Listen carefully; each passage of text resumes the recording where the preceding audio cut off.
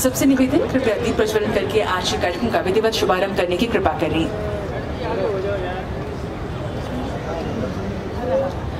संजीव झा जी और वंदना कुमारी जी भी हमारे बीच हैं। मैं दोनों विधायकों से निवेदन करूँगी, कृपया आप भी मंच पर आए। दीप प्रज्वलन में सहभागी हूँ। राजेश गुप्ता जी, मुझे बताया गया वो भी इस कार्यक्रम में हमारे साथ हैं। सर, मैं आपसे भी निवेदन करूँगी, कृपया आप भी मंच पर आए।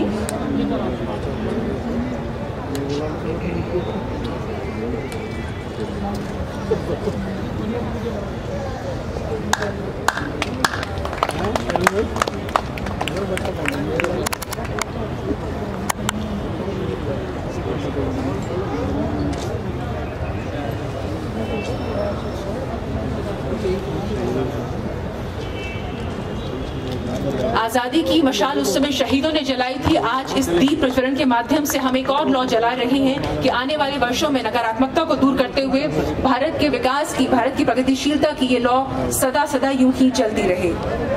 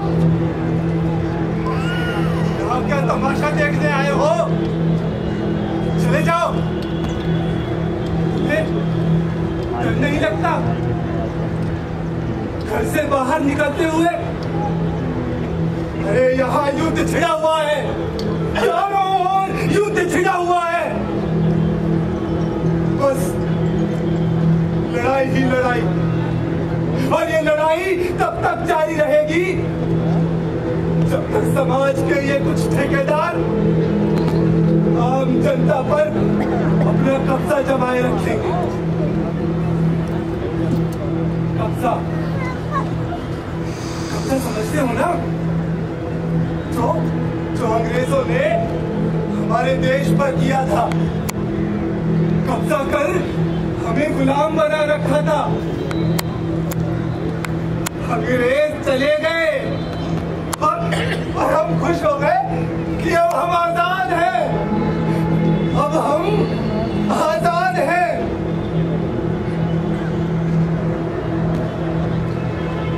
इस आज़ाद भारत में मैं थकने के बाद भी चलने की कोशिश कर रहा हूँ। लेकिन लेकिन कभी कभी रातों में उनका हंसता, मुस्कुराता चेहरा मेरे सामने आ जाता है। तो उनसे पूछने की इच्छा ज़ाहिर होती है कि, सरदार, क्या यही था वो आज़ाद हिंदुस्तान, जिसका तस्वुर तुम तीनों ने किया था।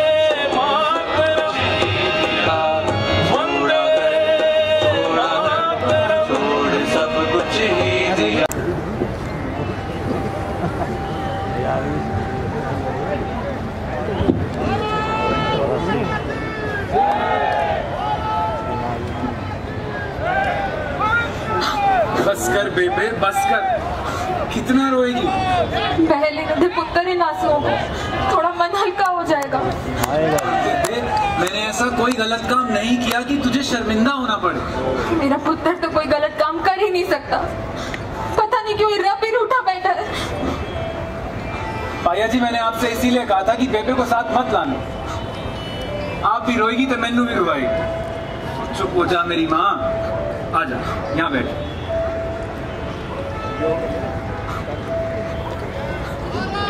बेबे, रोने वाले लोग देश में इनकलाब नहीं ला सकते। रोक ले अपने को। बड़े कीमती हैं। सबसे कीमती चीज़ तो तू है, पुत्र। जो इन पुलसियों ने अपने पास कैद करके रखी है।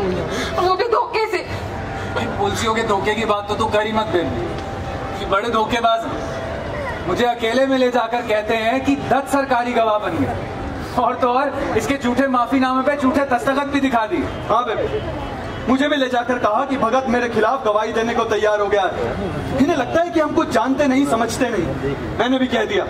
ये एक बार को मैं मान सकता हूँ कि सूरज पूरब के बजाय पश्चिम से निकल आया। है पर मेरा वीर भगत धोखेबाज हो ही नहीं सकता। धोखेबाज तो ये फिरंगी है बेबे भगत खुद इनसे मिलो ये है हमारे वकील आसफ अली साहब। जय हिंद जय हिंद। भगत जी आप इस वकालतनामे पर दस्तखत कर दें। भी रुकिए आसफ अली साहब जल्दी किस बात की? देर ना कर पुत्र। कुछ ही समय में केस शुरू होना है। भैया जी हमने इस कचहरी में अपना मुकदमा नहीं लड़ना। जिद ना कर पुत्र। भगत जी अपने जुर्म का इकबाल बिल्कुल मत करना। अली साहब हम अपने जुर्म का इकबाल ज़रूर करेंगे। लेकिन इस कचहरी में अपना मुकदमा नहीं लड़ेंगे। कर दे बेटा। अभी वकील साहब ने केस भी तैयार करना है। कितनी भी तैयारी कर लो पर इन फिरंगियों की अदालत में इंसाफ कहाँ मिलता है? लो सुन लो मेरी बेबे ने किया सियाणों वाली बात। भगत जी फिर भी हमारा फ़र्ज़ है कि हम डिफेंस का पूरा बंदोबस्त करें। माफ़ करना आसफ अली साहब मगर हम ये केस लड़ना ही नहीं चाहते। भैया जी आप क्यों बेकार में खज्जल खुआर हो रहे हैं? क्यों इन कचहरियों में अपना पैसा बर्बाद कर रहे हैं। वो दिमाग खराब हो गया है तेरा। क्यों न लड़े हम केस? और सारे कुंबे नु पेड़ियाँ लगवाएगा रिश्तेदारों ने जेल भी जाएगा। पुत्र तू नहीं जानता इन पुलिस वालों ने। तुझे सब कुछ कुर्क कर देंगे। ज़मीन जायदाद घर बार सब। हाँ पुत्र गाय भैंस सब भाग के ले जाएँगे ये। भगत जी ये दिमाग से काम लेने का समय है। और ये केस तो हम ज़रूर लड़ेंगे। देश के बड़े बड़े बैरिस्टर हमारी मदद करने को तैयार हैं। पंडित मोतीलाल नेहरू जी मालवीय जी पटेल साहब मैंने इन सबसे केस डिस्कस किया। और सभी लोग हमारी मदद करने को तैयार। हैं देखिए असेंबली में बम हमने जिस स्कीम के तहत गिराए थे वो आप लोगों की समझ से परे है। ये हम नौजवानों के विचार हैं जो आपकी समझ में नहीं आएँगे। भगत जी मान लिया कि ये स्कीम हमारे समझ में नहीं आएगी। मगर मैं इतना ज़रूर समझता हूँ कि ये जंग सिर्फ़ आप अकेले की नहीं रही अब ये पूरी हिंदुस्तान की जंग आज़ादी का हिस्सा बन चुकी है। अब अंग्रेज़ों के आगे हथियार क्यों फेंके? पूरी टक्कर देंगे उन्हें हम कानूनी जंग लड़ेंगे। और तुम नौजवानों की कोई भी स्कीम हो तुझे और दत्त को छुड़वाने की हर हीले कोशिश करेंगे हम। और मैं तो इस बात का गवाह हूँ। मैं खुद गैलरी के अंदर था जब तुमने टेरी और जॉनसन को कहा कि घबराओ नहीं हम अपने जुर्म का इकबाल ज़रूर करेंगे। आ जाओ गिरफ़्तार कर लो। और एक पर्चा जो तुमने असेंबली में बिखेरा था मैंने वो भी अपने पास रख लिया। और हाँ पुत्र हिंदुस्तान टाइम्स का नुमाइंदा बड़ा चालाक निकला। पर जब तक सरकार उस पर्चे पर छपने पर पाबंदी लगवाती तब तक शाम का स्पेशल एडिशन छपकर बाहर आ गया था घर घर पहुँच गया था। हर गली हर मोहल्ले में लोग एक दूसरे को पढ़कर सुनाने लग रहे थे। ये तो बहुत बढ़िया हुआ। हमारी सोची समझी स्कीम के तहत हुआ। मगर पाया जी। आप जानते हैं कि अंग्रेज़ी सरकार ने सिर्फ़ इंसाफ का ड्रामा खेलना हमें फांसी पर चढ़ाने का फैसला तो सरकार पहले ही कर चुकी है। फांसी? मेरा पुत्र? यूँ ही दे देंगे फांसी? भगत जी इस जुर्म के लिए आपको फांसी बिल्कुल नहीं हो सकती क्योंकि कानून इसकी बिल्कुल इजाज़त नहीं देगा। यही तो परेशानी है आसफ अली साहब। आप इन पूंजीवादियों के कानून की जड़ नहीं जानते। ये कानून गढ़े जाते हैं ताकि किसानों को मजदूरों को गुलाम बनाए रखा जा सके मजलूमों को एक्सप्लॉइट किया जा सके। और इसी पूंजीवाद के खिलाफ हमारी जंग है। भूल ना कर पुत्र। बंदे को अपने बचाव का पूरा बंदोबस्त करना चाहिए। हाँ पुत्र जान है तो जहान है। और ये कानूनी जंग हम डट कर लड़ेंगे। ताकि तुम दोनों जेल से बाहर आकर हमारी जंगी आज़ादी में अधिक योगदान दे सको। वकील साहब कुछ कहिए? भगत जी, अब तक दस्तखत कर दीजिए।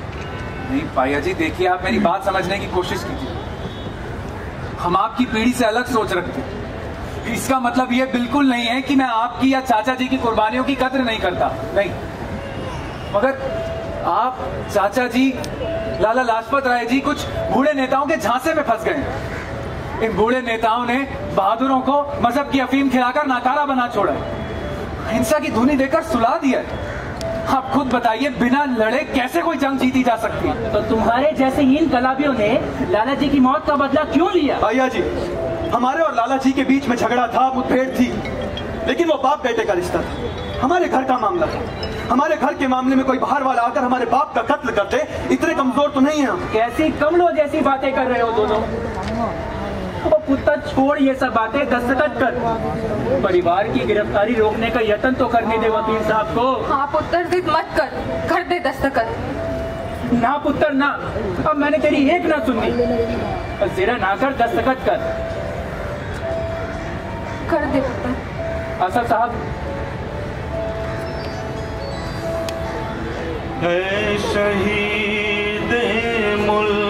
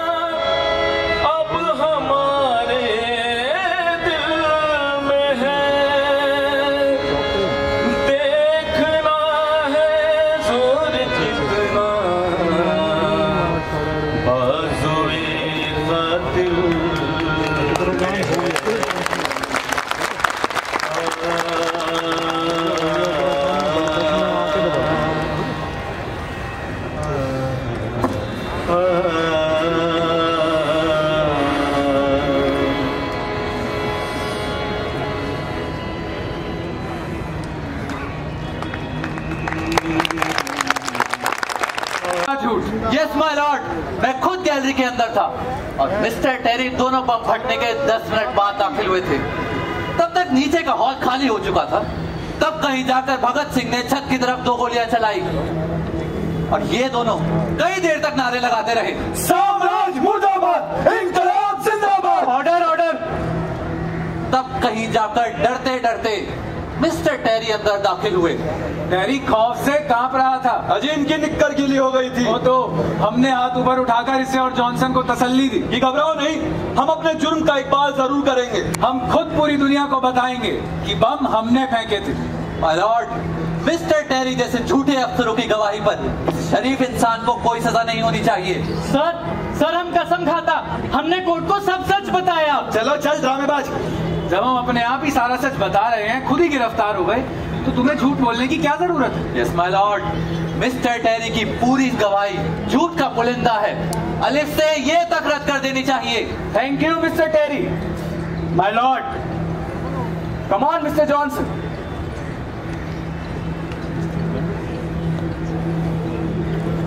I swear by my God that I will speak the truth, the whole truth and nothing but the truth.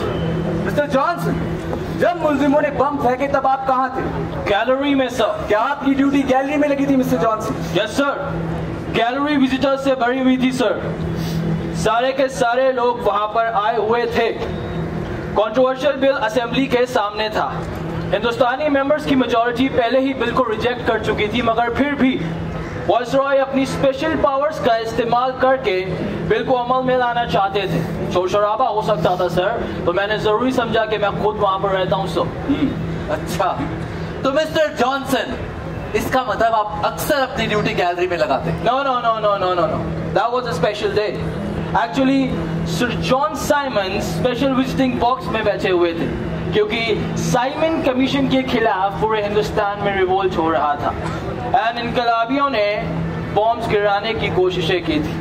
तो मैंने अपनी ड्यूटी वहीं लगाना बेहतर समझा सर अच्छा तो तेरी भी तेरे साथ ही रहा होगा वहाँ है ना?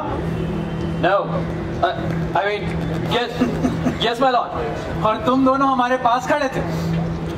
Yes yes. तो तब आपने इन्हें रोका क्यों नहीं मिस्टर जॉनसन? हाँ बम गिराने से पहले क्यों नहीं पकड़ा? माय लॉर्ड पहला बॉम्ब इतना सडन था कि मैं कुछ समझ नहीं पाया। फिर एकदम हॉल में पूरा धुआँ हो गया था सर दूसरा बम गिराते हुए मैं इनको देख नहीं सका। मगर जैसे ही धुआँ हटा मैंने भगत सिंह के हाथों से लोडेड पिस्टल को छीन लिया जो कि दो शॉट्स के बाद जाम हो गई थी सर जा वे जा गंभीर। पिस्तौल मैंने तुझे अपने आप पकड़ाया था। सिर्फ़ दो गोलियाँ छत की ओर दागने के बाद। अच्छा चल ठीक। एक बात बता। हमारी और आते वक्त तेरी टांगे नहीं कापी थी? नो जोल सर मैंने मुलजिम बी के को पीछे से पकड़ लिया था एंड सार्जेंट चेरी ने भगत सिंह को। तो क्या तुम बम गिरते वक्त या पिस्टल चलते वक्त मुलजिमों के साथ गैलरी के अंदर थे? यस सर मैंने अपनी आँखों से देखा मुलजिम को जुर्म करते हुए। तो मिस्टर जॉनसन क्या मुलजिमों ने हिज मैजेस्टीज गवर्नमेंट के खिलाफ जंग छेड़ने का ऐलान किया। यस सर इन्होंने down with Union Jack and death to British colonialism के नारे लगाए। क्या इन्होंने ये शेडिशियस लाल पर्चे हॉल के अंदर बिखेरे यस सर इन पेपर्स की बौछार हुई मैंने अपनी आँखों से देखा सर लॉर्ड मैं खुद गैलरी के अंदर था और मिस्टर जॉनसन टेरी के भी बाद दाखिल हुए थे। पहला बम फटने के कुछ पाँच मिनट बाद। जॉनसन भूल गया तू। डर के मारे तेरी टांगे और बाहें चूल्हे झूल रही थी। हम अदालत को सारा सच बता रहे हैं। तुम लोग क्यों झूठ के पहाड़ खड़े कर रहे हो? थैंक यू मिस्टर जॉनसन अब आप जा सकते हैं। Milord my lord mister Johnson भी टेरी की तरह एक सरकारी मुलाजिम इनका सच्चाई से कोई लेना देना नहीं। इंसाफ और इंसानियत से दूर दूर तक का कोई रिश्ता नहीं। मेरी कोर्ट से यह दरख्वास्त है कि सारे सरकारी गव- गवा, गवाहों की शहादत पूरी की पूरी रद्द की जाए। मुलजिम सफ़ाई पेश करें पहले भगत सिंह। जनाब मैंने और दत्त ने इकट्ठे स्टेटमेंट तैयार की है। हम दोनों इकट्ठे हर सवाल का जवाब देंगे। इजाज़त है। मुंशी जी कॉपियाँ दीजिए। असर साहब कुछ नकली समाचार पत्रों के लिए भी निकलवाई थी। लाइए मैं संवाददाताओं में बांट आता हूँ। दे दीजिए मुंशी जी। माय लॉर्ड मेरी आपसे एक दरख्वास्त है कि जब तक बयान कचहरी के अंदर पेश नहीं हो जाते प्रेस को छापने से मना किया जाए। बयान पेश हो चुके हैं। कापियाँ भी बांटी जा चुकी हैं जज साहब। स्टेटमेंट के अंदर खतरनाक वाक्य हो सकते हैं माय लॉर्ड जिनसे मुल्क में शांति भंग हो सकती है। लिखित बयान कोर्ट में दर्ज हो चुके हैं। पब्लिक प्रोसिक्यूटर सवाल पूछिए। यस माय लॉर्ड मुजरिम भगत सिंह और बीके दत्त क्या तुम दोनों ने असेंबली के अंदर बम फेंके? ज़रूर। एक भगत सिंह ने एक मैंने। क्या तुम दोनों लोडेड पिस्टल लेकर हॉल के अंदर गए? जी जनाब। गोलियाँ चलाई? सिर्फ़ दो। किसी विशेष व्यक्ति को निशाना बनाया। नहीं गोलियाँ छत की ओर दागी थी। क्यों? जनाब हम मनुष्य जीवन को पवित्र समझते हैं। और खामखा किसी का खून नहीं बहाना चाहते थे। तो अगर तुम दोनों पिस्टल छुपाकर अंदर ले गए थे तो इंटेंशन तो ज़रूर किसी का कत्ल करने की होगी। बिल्कुल नहीं जनाब। हम किसी एक व्यक्ति से नफरत नहीं करते। और ना ही हमारा बदला लेने का कोई इरादा है। तुम्हारे बम थे खिलौने? जी जनाब। बहरे कानों के अंदर आवाज़ पहुँचाने के लिए बड़ा धमाका करना पड़ता। है और वकील साहब अपना नहीं ये सरकारी नुमाइंदों से कहिए कि हमारा देश छोड़कर चले जाएँ। ये इनकलाब का तूफ़ान है। बहुतों को लेकर डूबेगा। इनकलाब से मतलब क्या है तुम्हारा? वर्तमान सामाजिक और राजनीतिक ढांचे में जड़ से परिवर्तन। Dictatorship of the proletariat dictatorship यानी तुम लोग डेमोक्रेसी के दुश्मन हो। नहीं जनाब आप शोषक वर्ग के व्यक्ति हैं। जनता की डिक्टेटरशिप का आप नहीं समझते। किसान अनाज उगाता है, लेकिन उसके अपने बच्चे दाने दाने को तरसते हैं क्यों? राजमिस्त्री, बढ़ाई, लोहार, ये लोग अमीरों के महल खड़े करते हैं। मगर खुद झुग्गी झोपड़ियों में बसते हैं। क्यों? इस समाज की पूरी की पूरी बनावट बदलने की ज़रूरत है। यही है हमारा इनकलाब कि कोई मनुष्य दूसरे मनुष्य का शोषण ना करे। एक मुल्क दूसरे मुल्क का खून ना चूसे। सब बराबरी से रहें, प्यार से बसे अमन अमान से बसे। तुम्हारा बेहतर दुनिया का ख्वाब बुरा नहीं है। लेकिन क्या इस यूटोपिया के लिए बम चलाने ज़रूरी है? इनोसेंट लोगों की जाने लेना लाजमी है। जनाब हम अमन पसंद क्रांतिकारी हैं। मनुष्यों के जीवन को हम बहुत पवित्र समझते हैं। खूब! बहुत खूब! पूरी असेंबली को एक ही झटके से खत्म करने की साजिश ज़रूर इंसानी ज़िंदगी को पवित्र समझती माय लॉर्ड लाहौर के ट्रिब्यून ने सही लिखा है कि इतने घातक बम गिराने वाले ज़रूर कोई पागल है। ट्रिब्यून ने गलत लिखा है। हम कोई पागल नहीं है। अच्छा ठीक है जनाब मान लिया हम पागल हैं। तो एक काम कीजिए मैं पागल खाने में बंद कर दीजिए। इस कचहरी में क्यों घसीट रहे हैं? जनाब हमने सोच समझ कर बम बनाए। उसमें पोटेशियम और पिगरेट भरते ताकि सिर्फ़ ऊँची आवाज़ और धुआँ और अगर हमें सच में किसी की जान लेनी होती तो उसमें लोहे के छर्रे और गंधक मिला। माय लॉर्ड इनके बयानों का ये हिस्सा खारिज किया जाए और प्रेस को ये वाक्य छापने से मना किया जाए। वरना देश के सभी नौजवान बम बनाने का फॉर्मूला सीखकर जगह जगह बम छोड़ने शुरू कर देंगे। ये फॉर्मूला रिकॉर्ड से खारिज किया जाए और अखबारों में भी शाया ना हो। जनाब हमने सोच समझकर जाँच करके खाली जगह पर बम फेंके थे। सिर्फ़ दो से तीन लोगों को मामूली रगड़ लगी। सिर्फ़ दो फुट दूर खड़े शूस्टर को भी खरोंच आई और अगर हम असल में किसी की जान लेना चाहते तो देश के जानी दुश्मन जॉन साइमंस की लेते। लाला लाजपत राय जी के कातिल को मारना ज़रूर हमारी पहली कोशिश हो लेकिन हमारा केवल एक मात्र उद्देश्य था चेतावनी हमारे बुज़ुर्ग मोतीलाल नेहरू जी पटेल साहब जिन्ना साहब सब सदन के अंदर थे। हम उनकी जानों को खतरे में क्यों डालते? तुम्हारी इंटेंशन कुछ भी हो लेकिन वॉयलेंस का इस्तेमाल जायज़ नहीं। एक सभ्य देश में हिंसा नहीं होनी चाहिए। We beg to differ my lord नेक कार्य के लिए शक्ति का प्रयोग नेक होता है। गुरु गोविंद सिंह ने शिवाजी ने आज़ादी लाने के लिए ताकत का इस्तेमाल किया था। Kemal Pasha Reza Khan. Washington और गैरीबाल्डी लाफियत लेनिन। ये सब ताकत का इस्तेमाल करके इंकलाब लाए थे। ताकत के बरतने को इरादे से देखिए। आटे में संख्या मिलाना बुरा नहीं बशर्ते इरादा चूहे मारने का हो। नतीजे से जांचिए। नतीजा सही हो तो ताकत का बरतना जायज़। सिरसिया दास ने अपने पुत्र को सही लिखा था। कि सोए हुए फिरंगी को जगाने के वास्ते बमों की ज़रूरत है। बहरों के कान खोलने के लिए धमाकों की ज़रूरत है। इनकलाब हर कौम का बुनियादी हक है। स्वतंत्रता हर व्यक्ति का ना छीने जाने वाला अधिकार। And hereby rest our case तो मुलजिमों के इकबालिया बयानों से ये ज़ाहिर है कि ये दोनों अंग्रेज़ी हुकूमत के खिलाफ जंग छेड़े हुए हैं। ये इस समाज के और इस मुल्क के दुश्मन हैं, खतरनाक कातिल हैं। तो आईपीसी की दफ़ा 307 के तहत और एक्सप्लोजिव्स एक्ट के आर्टिकल 3 के तहत मुलजिम भगत सिंह और बी के दत्त को उम्र कैद बा मुशक्कत दी जाती है। देखना है ज़ोर कितना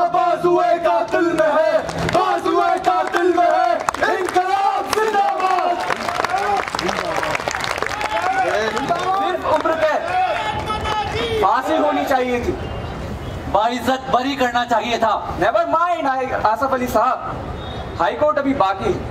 वहाँ ज़रूर फांसी दिलवाऊँगा। फांसी? पटाखे छोड़ने के लिए? दोनों को सूली पर चढ़ाकर ही दम लूँगा। शहीदान वतन अमर रहे। शहीदान वतन अमर रहे। असेंबली बम केस के लिए उन वीरों को उम्र कैद की सजा हुई। लेकिन उम्र कैद की सजा भी उन शहजादों के हौसलों को डिगा नहीं सकती थी। सैंडर्स केस का फैसला आना भी बाकी था। सैंडर्स, जिसके कत्ल की योजना बहुत पहले से तैयार हो चुकी थी। सुखदेव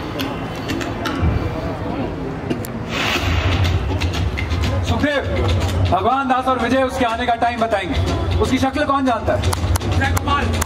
जय गोपाल। वो मोटरसाइकिल से आता था। डीएवी कॉलेज के सामने।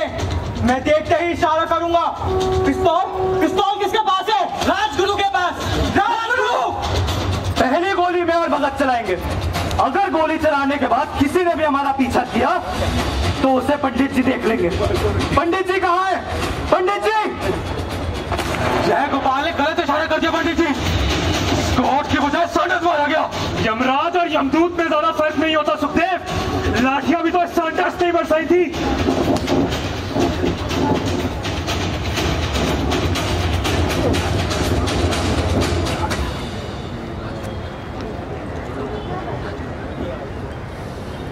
गवाहों के सब बयानात सुनने के बाद और सब दलीलों के मद्देनजर यह अदालत इस नतीजे पर पहुँची है कि मुलजिम भगत सिंह सुखदेव और राजगुरु ने अपनी सोची समझी साजिश के तहत इंस्पेक्टर सैंडर्स का कत्ल किया।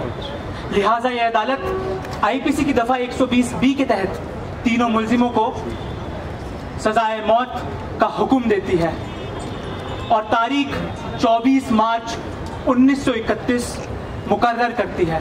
To be hanged till death. वतन की आबरू का पास देखें कौन करता है। सुना है आज मख्तल में हमारा इम्तिहा होगा। वतन की आबरू का पास देखे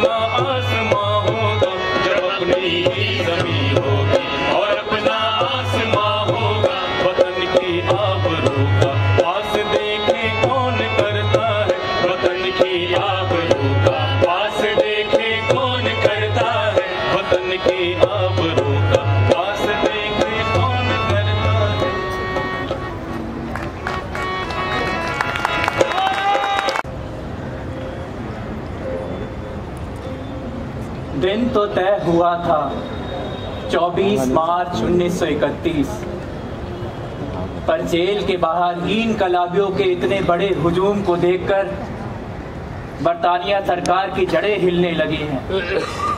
इसीलिए चुपचाप आज एक दिन पहले ही फांसी दी जा रही है। शायद इन शहजादों के नसीब में इंतज़ार लंबा ना था। ऐसा लग रहा है मानो वक्त भी वक्त से पहले आना चाह रहा है।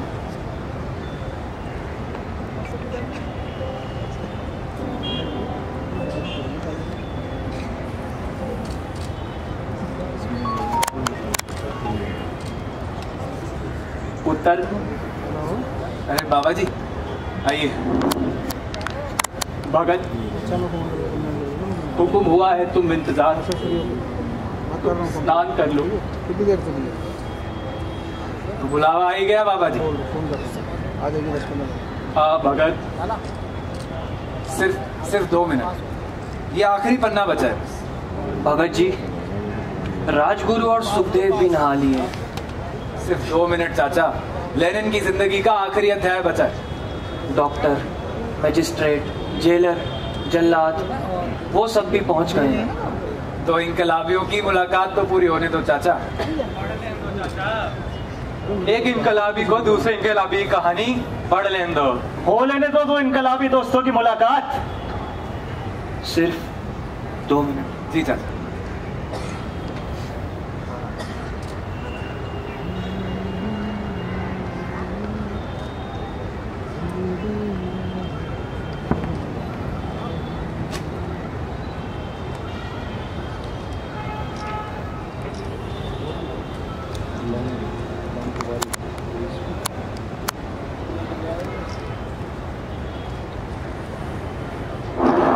पापा जी छह महीने मेरा माता पिता की तरह ध्यान रखा मैं आपका तहे दिल से शुक्रिया अदा करता ना पुत्र, ना।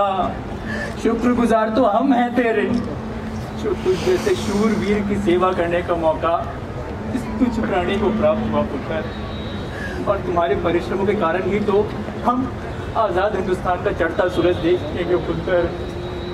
पुत्र। यकीन मानिए हमारी फांसी के बाद हिंदुस्तान बहुत जल्द एक आज़ाद मुल्क होगा उसे देखने के लिए तुम लोग यहाँ मौजूद नहीं होगे पुत्र। तुम लोग यहाँ मौजूद नहीं होगे।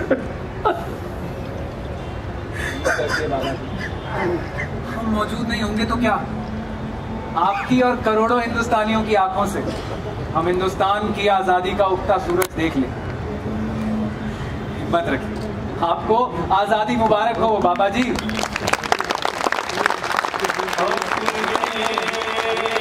अपने